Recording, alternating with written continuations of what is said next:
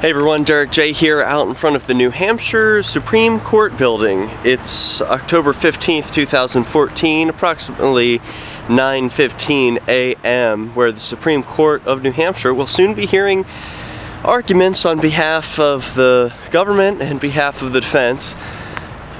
It's not a criminal case, it's a civil case, but it's about Robin Hooders, people who feed other people's parking meters to help save them from getting a parking ticket.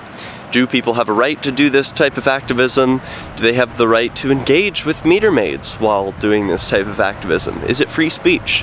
All these questions will be heard and uh, decision will be made within six months.